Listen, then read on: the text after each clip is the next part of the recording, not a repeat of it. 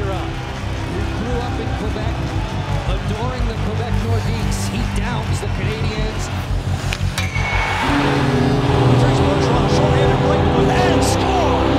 This is the guy who leads this hockey team, heart and soul guy. Get the Duck Boats ready!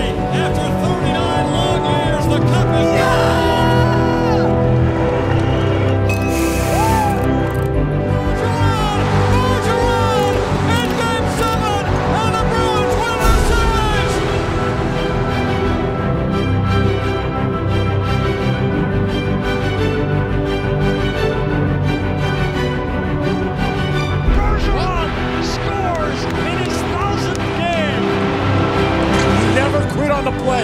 Outstanding. Backhander, score!